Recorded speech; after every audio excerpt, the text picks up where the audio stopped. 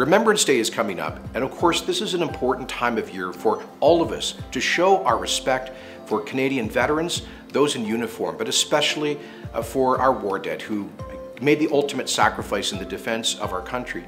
This year is the 100th anniversary of the Poppy campaigns as a way of remembrance. And when you see these boxes at, at stores and locations all across the province, please uh, purchase a poppy and be generous. All 100% of the revenues raised by, for the Royal Canadian Legion go back to the Poppy Drive Fund, much of that to support uh, food banks, for example, for veterans.